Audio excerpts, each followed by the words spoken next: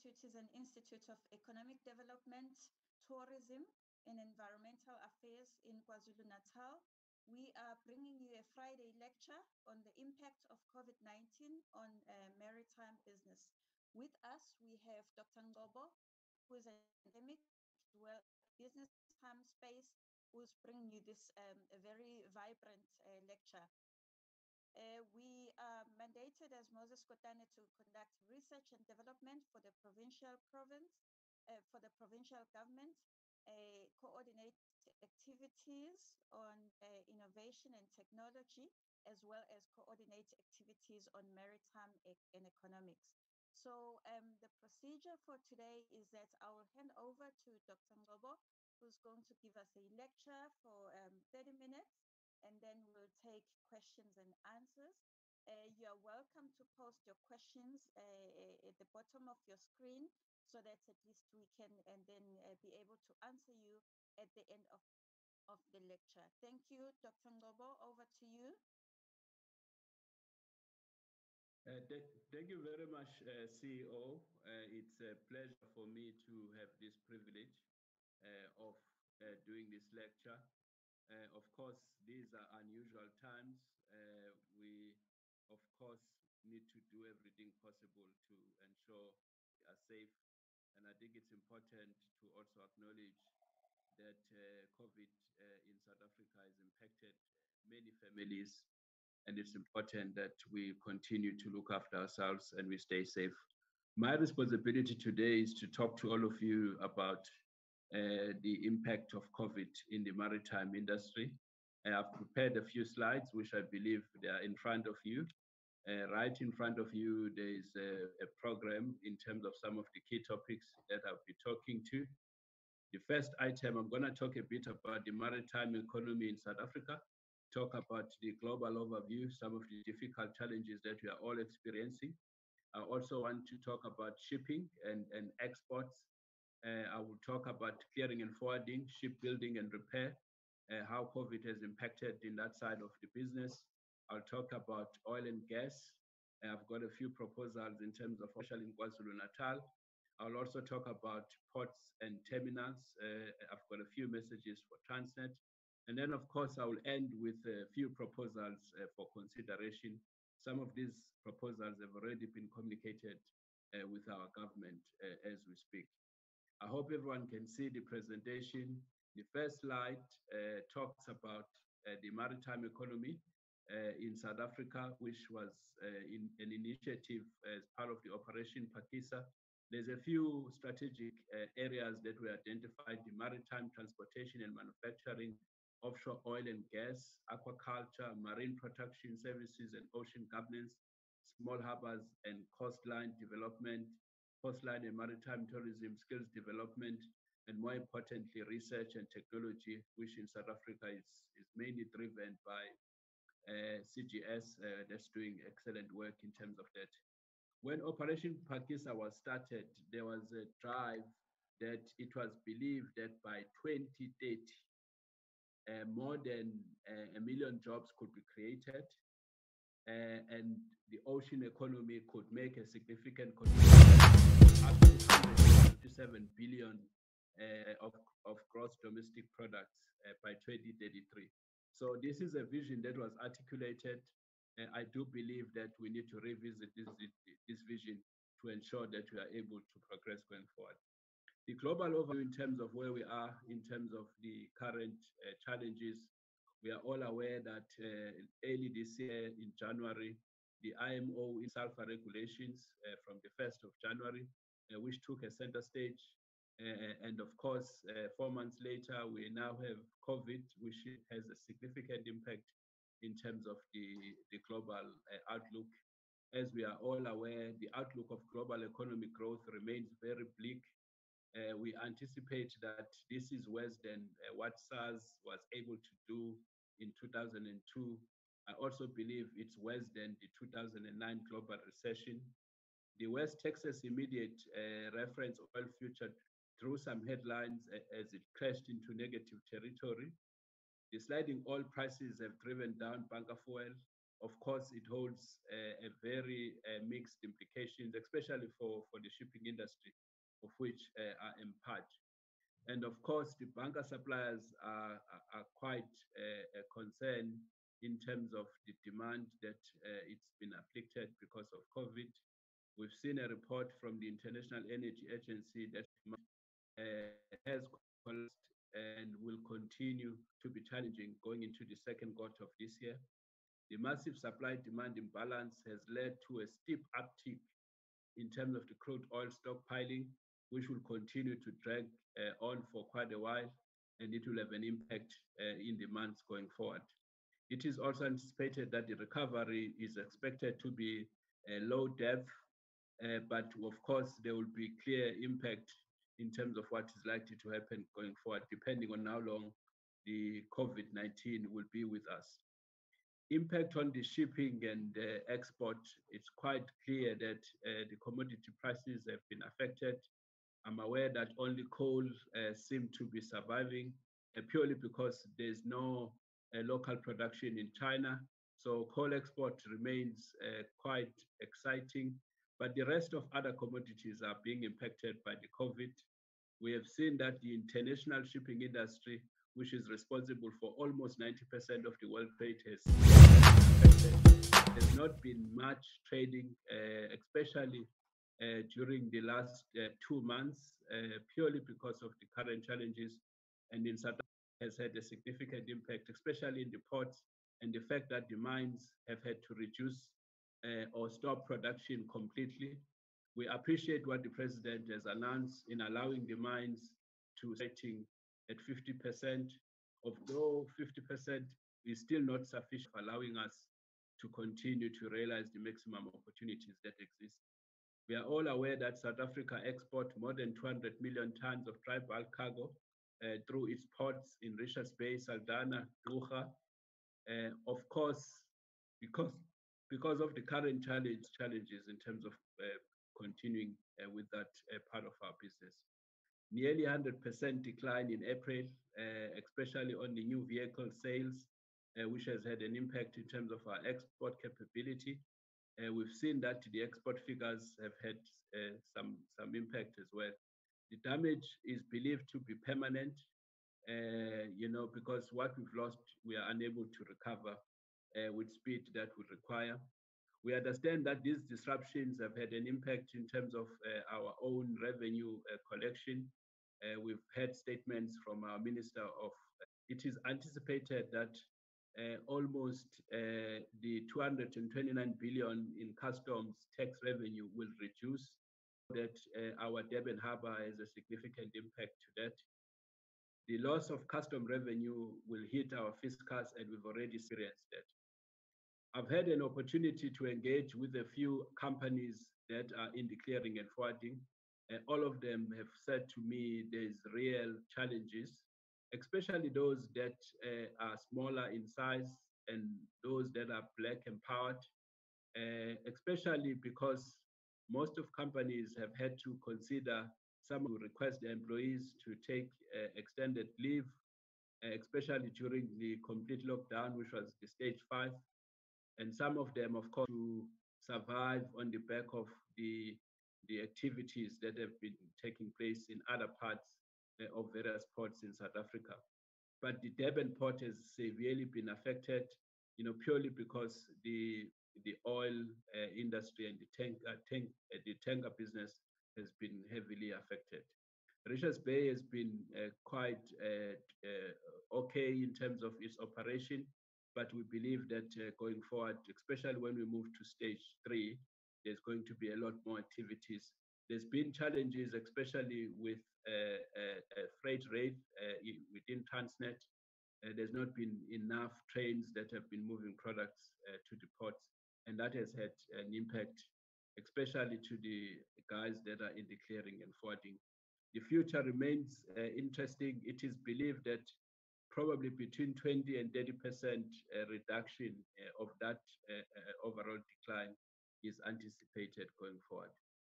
In terms of the shipbuilding and repairs, as we all know, there's not been any production during between the March 27 and 8th of May when the ports opened. That has had a significant impact because there's not been activities. But I'm proud to say, especially the South Southern African uh, shipyards has not returned nobody, uh, which is very encouraging. Uh, instead, they've asked their employees to consider as taking a leave during this period the stipulation that companies must limit capacity to 50% of the, of the workforce is not really practically uh, feasible, especially uh, in a shipbuilding and ship repair business. But of course, uh, safety is the number one priority, and it is uh, considered that uh, there will be uh, approaches to ensure that the challenges can be minimized in terms of safety and ensuring that the, the spread of COVID does not go beyond does not really affect the employees. According to the survey of the boat South, of the South African Boat Builders Export Council on the 6th of April, it is believed that shipbuilding companies have already begun some retrenchments, uh, but it is encouraging that in our province, in KwaZulu-Natal, we have not seen uh, much of that. The impact of COVID has also affected the oil and gas industry, it is believed that the world has returned to oil demand levels, which has last been seen in the 1990s. The world top oil companies, as we all know, uh, on the 12th of April, they pulled off a historic cut in terms of their global production by nearly 10%, which has not happened uh, in many, many years. Uh, this is really worrying. The abrupt shutdowns partially damage all fields and restarting them once demand returns will take a lot longer. We are quite aware, especially in our South African, uh, South African, especially in KZN, there's a lot of exploration. There's anticipation of serious discoveries, especially on the oil and gas. We are aware that a company, which is a joint venture between Sasol and Eni, they are doing exciting work in the province. And we understand that this COVID uh, may have an impact in terms of the long-term viability of some of the investment. But I'm encouraged that in my discussion with the CEO of Eni, uh, who gave me a commitment that the, their plans will remain uh, on track, uh, provided that the Department of Environmental Affairs uh, uh, sort out the, the issues that have come up as part of the appeals in terms of the approved EIA that was, was confirmed last year. The LNG investment remains very exciting. Uh, I've spoken to a lot of people that have an interest, especially in Richards Bay. Uh, all of them are saying to me they are still keen to continue uh, with some of their plans to invest uh, in the LNG uh, Uh, and uh, opportunities in Richards Bay. The impact on ports and terminals, uh, we've seen that cargo volumes have decreased sharply. Uh, tankers are mostly severely affected. We've also seen decreased consumption of energy, fluids, and dry bulk has been affected in respective terminals. Since borders are closed, crew changes are not really possible. So ships have to be deterred from calling in into various ports, and that has a significant impact, especially in terms of the maintenance of ships, uh, because as we know that 99% of uh, ships are not owned uh, in South Africa. Uh, which is a huge uh, challenge uh, going forward. The impact on dry bulk market has been very severe. Uh, we've now uh, seen that uh, there's forecast that the freight rate will fall up to 23% you know, in this quarter. however, supply side effect is expected to support freight in the second half of this year. So we remain very positive that the challenges we have are not permanent uh, provided that the world is able to deal with the challenges uh, that COVID-19 uh, is posing uh, to our industry. There's a few proposals that uh, we are socializing with government to see to it that there is a way we could deal with the challenges. We are very encouraged with the announcement by the president uh, that talks about the rapid reopening of the economy uh, and the plans of moving to stage three. Uh, we encourage uh, that decision and we also support the initiatives uh, of the Premier of KwaZulu-Natal in terms of reopening the economy.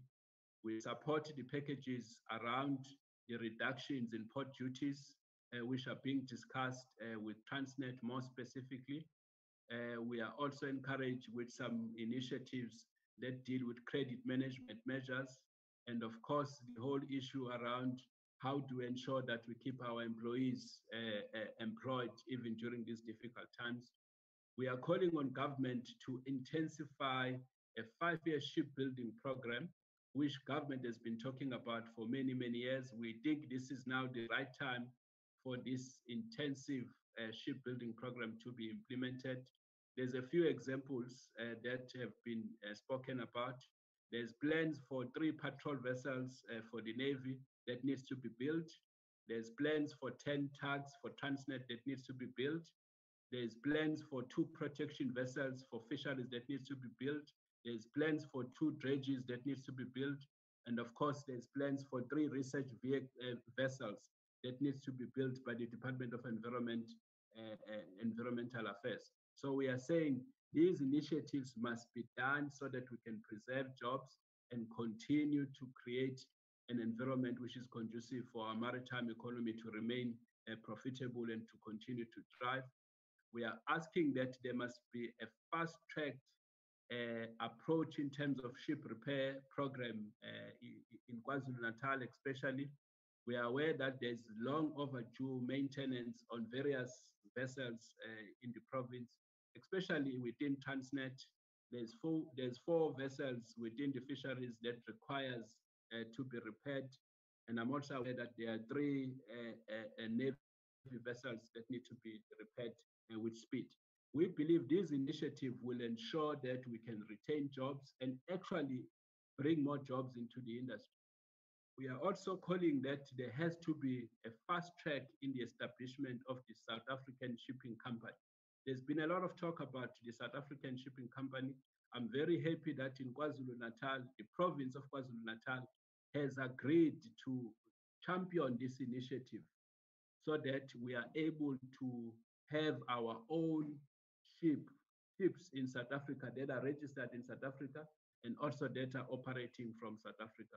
There's a lot of support for this initiative, and I'm very proud of the initiatives by our MEC, uh, uh, uh, MEC uh, Nomusa Dube, in terms of looking at this opportunity uh, Transnet needs to consider uh, bringing on board a lot earlier the new, the second tippler uh, that they've been talking about. We think that will help in, in increasing the capacity uh, of the Richards Bay port, especially for the dry bulk, uh, which has a significant economic impact uh, in, our, in our province, in KwaZulu-Natal.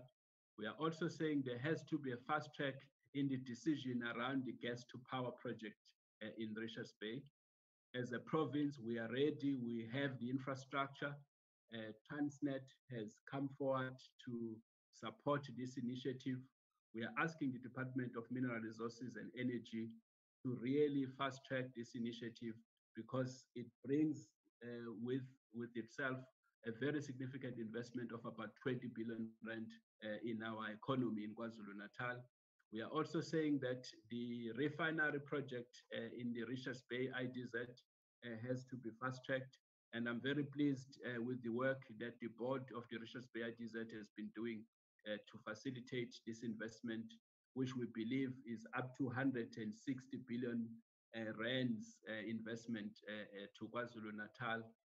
We are also asking that CGS must continue with all the work that it's doing in terms of various exploration as well as various surveys that they are doing in our waters because through that we can continue to support the industry and we can continue to see a lot of opportunities uh, being made available, especially to the students that have graduated uh, with degrees uh, in, in the maritime industry. And then, of course, we want to revisit the Operation Phakisa program, uh, which was started by our former president, Zuma. We think this program has a very significant role to play going forward. And I think we need to probably call for a task team that will see to it that this program can be revisited. The sulfur regulation should be delayed uh, the sulfur regulation by the IMO were meant or have been uh, started uh, on the 1st of January. We believe as a maritime industry that we need to delay the implementation of this regulation at least up until uh, uh, 2022 because we believe the impact of COVID is not going to disappear anytime soon. We believe it will be with us uh, going forward, especially in terms of uh, our freight business. The carbon tax uh, that was imposed to the South African mining industry, we believe it has to be suspended at least until 2022 because already the mining industry in South Africa is heavily impacted uh, by COVID. As you are all aware, during stage five, there was almost no production. Uh, during stage four, at least there is some production, uh, up to 50%. We don't believe that even during the stage three, most of the mines can be able to go back to uh, to 100% production. So we are saying that all elements that impact on pro profitability of the mining companies uh, will need to be uh, uh, uh delayed in order to allow the, the industry to recover and to continue uh, to do what it does best. The new mining charter regulations that requires South African owned ships to transport minerals must be enforced urgently because this will drive local ownership of, of, ships in South Africa. In my conclusion, uh, I want to emphasize that this year, uh, which is 2020, is not a normal year. You know, we must accept that there is a new normal. The only focus we must be looking at in the maritime industry is to survive and to preserve employment. That must be our number one priority. But in doing so, we need to do it responsibly and ensure that we prevent the spread of COVID 19 going forward. Thank you very much. Well, thank you. Thank you so much, uh, Dr. Ngobo, for quite a, an informative uh, lecture. Uh, we see all of you um, that have joined us. Uh, we'll go to the questions and answer session now. Uh, firstly, starting by acknowledging all of those, all of you that have attended uh, this lecture. We really appreciate your time, taking your time from your busy schedule to just sit in for lunchtime to attend this lecture. Um, we have uh, Londi Wengobo who is saying uh, thank you, thank you for, for this lecture to Dr. Ngobo. Uh, but we also have a panelist member, uh, Mr. Vincent Zulu, who's going to be assisting us in answering uh, some of our questions. We have uh, some questions that have come through uh, from uh, Wengane, who is asking um, three questions. First question being, what systems are in place by Moses Kotane to ensure that collaboration, inclusion, and involvement of various stakeholders is, is, is, is taken aboard? Um, how does Moses Kotane aims to align its requirements in terms of the projects uh, for the, uh, the, the, students and qualifications, the masters and the PhD uh, students uh, qualifi and qualifications, as well as related projects. Um, she's also asking, um, are there any programs in the pipeline that, that are aimed at pushing and maximizing the complete maritime awareness and knowledge of the industry of all uh, of all of, of, the industry all over KZN. I think um, I'll request U, U Mr. Zulu to assist us and answer some of these questions. Um, I don't see any other questions. Uh, yeah, there, are comments, uh, but I don't see further questions. I'll check some more. Whilst I'm checking, uh, Mr. Zulu, please can you attend to the first questions? Thank you very much, uh, uh, CE. And uh, in terms of the first question, uh, there are active programs uh, to collaborate with the various industry stakeholders. Uh, a case in point is this lecture which we have can you just get closer to your mic? We can hardly hear you. Uh, sorry about that. I'm saying uh, the, the collaboration of various stakeholders is necessary. And henceforth, this uh, lecture today is part of the effort in terms of reaching out to stakeholders and ensuring that uh, we, we move maritime in a manner whereby there is a greater collaboration. Uh, there are also, we have a, an active, uh, as, as part of our sub-programs advisory service where we engaging with the various stakeholders to ensure that uh, in, in, certain instances, doing a practical or applied research uh, and then sharing those among other platforms is the stakeholder fora that uh, Moses Kotane hold, where all the stakeholders who are interested in that particular uh, in that particular uh, in that particular in that particular sector can meet. So we already engaged with the stakeholders and it's an ongoing process. We've got some studies that are, are currently in place and as soon as uh, we are in a, a, position to engage the stakeholders, we will have that. Uh, and also in terms of question uh, number two uh, about qualifications, uh, we always of the view that you don't know what we can we can hardly hear you mr zulu. Oh i can hardly hear you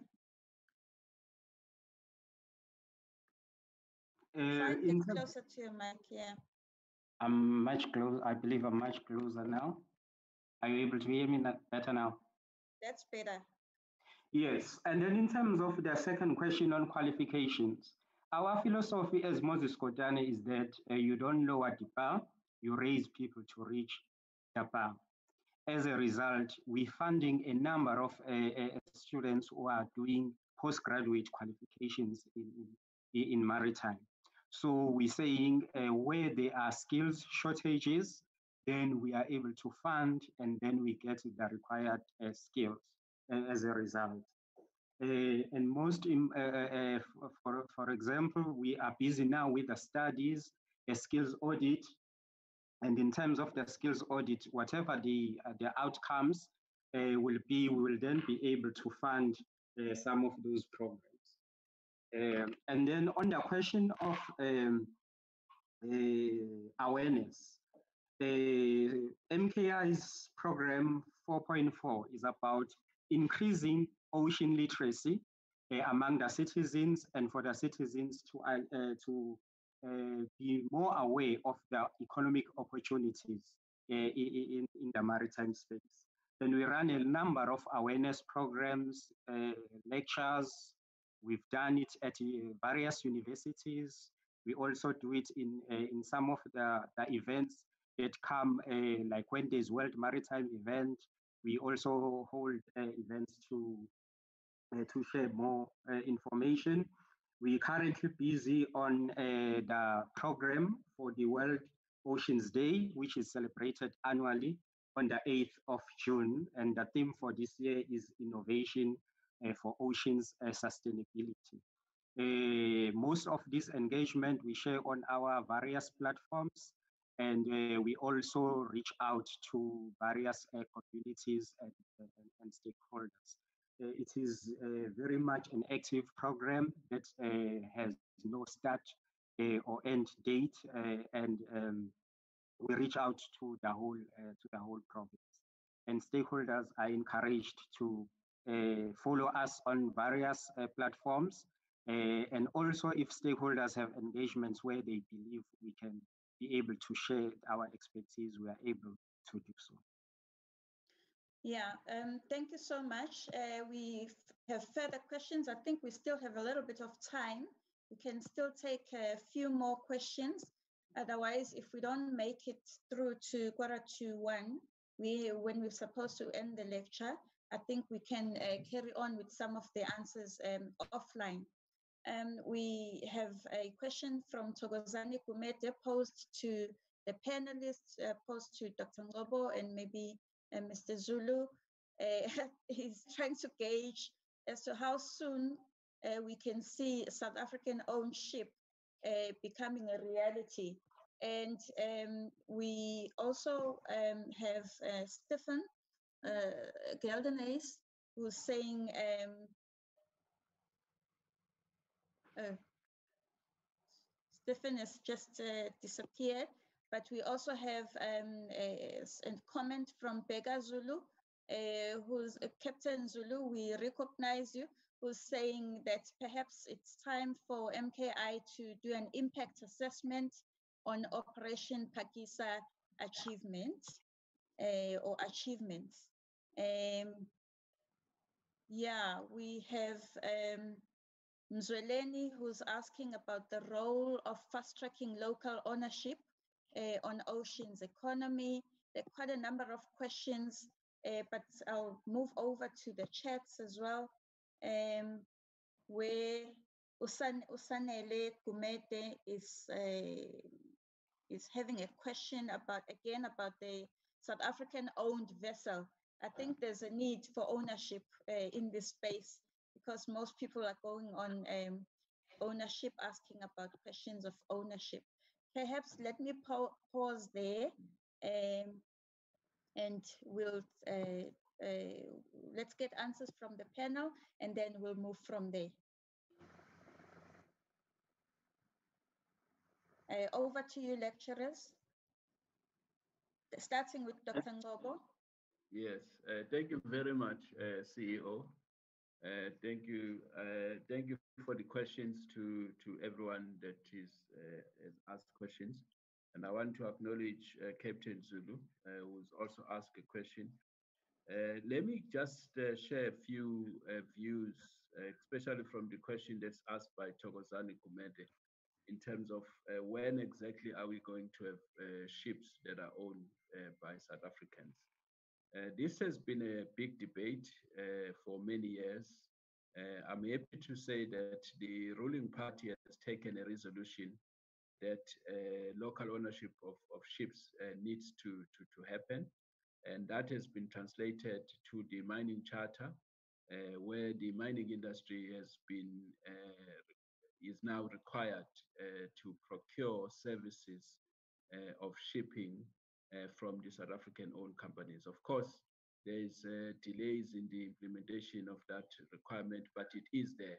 Uh, and we can only ask the Department uh, of Mineral Resources and Energy under the leadership uh, of Comrade uh, Gwede Mantashe to really push hard uh, that this section of the Act of the Mining Charter is, is fully implemented. But we must also acknowledge that there's a couple of mining companies that have adopted uh, this uh, clause in the mining charter of using South African owned uh, mining companies, to, sorry, shipping companies to start moving their product. So we need to acknowledge that. Currently, as I said in my presentation, 99% of the ships uh, are not owned in South Africa. Uh, unfortunately, they are owned elsewhere. They are owned uh, in Greece. They are owned in Singapore. They are owned in China. They are owned elsewhere there is a big drive, but the only time this could be possible, it's when there is cargo available that is dedicated uh, to be transported by the locally owned uh, shipping companies. That is why it is expected that through this mining charter requirement, there will be pressure to the ship owners uh, to now register those vessels in South Africa and also to comply with the triple BE requirements in South Africa, which requires you to have, to have at least 30% local ownership.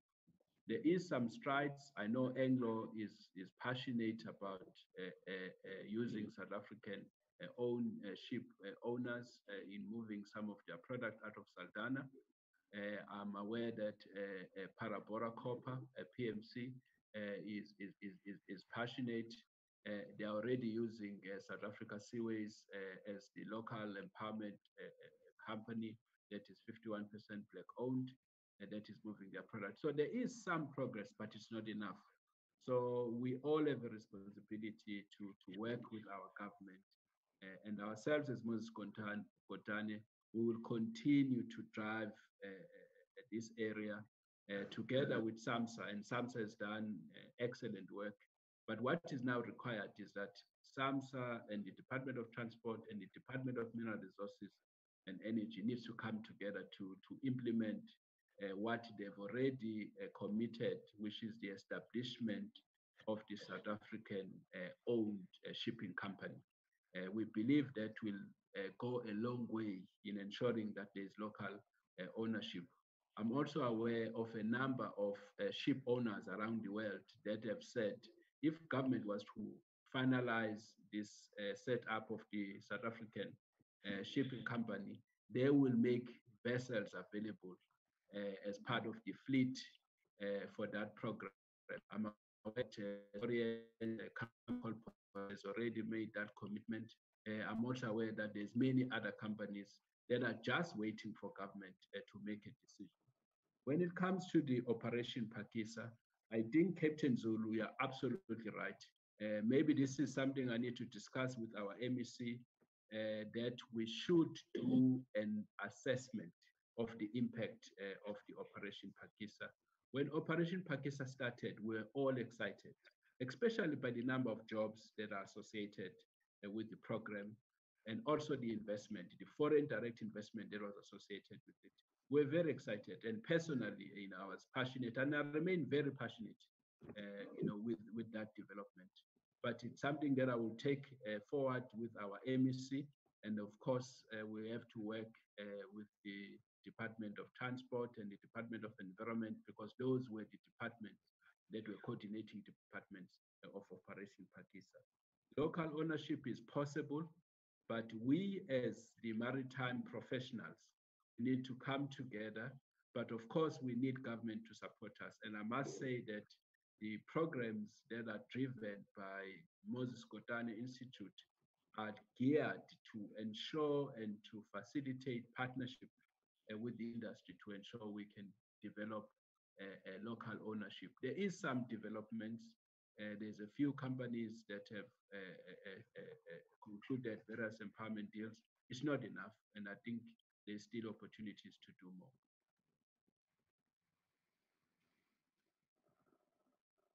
Thank you, uh, Mr. Zulu. Yes, uh, thank you, Chair. Um, in terms of uh, the the relationship, there's a question on the relationship between uh, uh, SAMSA and Moses Kotane. Uh, we are working on a number of programs, and Moses Kotane as a as tasked with uh, coordinating and leading on maritime in the in the province. So our role is to engage with um, various stakeholders in the sector. Some being the authority for maritime in South Africa, and they are, are working uh, with that. And some of the programs in order for to achieve uh, inclusiveness in the sector include uh, the work that we are doing on the uh, rural maritime development strategy. Uh, we also working on the uh, coastal and marine tourism uh, for rural and township development. So all of these are to ensure that at the end of the day, uh, when we talk about, uh, like one has alluded, the need for uh, uh, black people to be uh, to participate in the sector, increasing knowledge. We want to have a situation where you increase the knowledge about the sector, but you also open it up for inclusiveness. You've got uh, programs that are running in that space. And as Moses Kotane Institute, we've got, among others, the Maritime Incubation Program, the Maritime Accelerator Program among the big uh, uh, uh, enterprise development, which is a big a component of what Moses Kotane does. And the purpose there is to ensure that the aspirant entrepreneurs and the fledgling entrepreneurs that are in the maritime space are given the necessary support uh, and uh, um, exposure into the sector so that at the end of the day we start to uh, uh, to redress uh, the the issues of ownerships uh, in, in in the various subsectors uh, within uh, Moses Kotane. I mean within the within the sector. And Captain Begazulu also commented in terms of the, the, the, operation we all of the view that as a as a especially as a province we can do very uh, uh, uh, much better than we currently are doing, and we're looking at um, the programs, as I have alluded, incubation and others, so that we, whenever, wherever there are bottlenecks, these are, are, are addressed and we start to see uh, novel uh, uh, um, objectives of Operation Phakisa starting to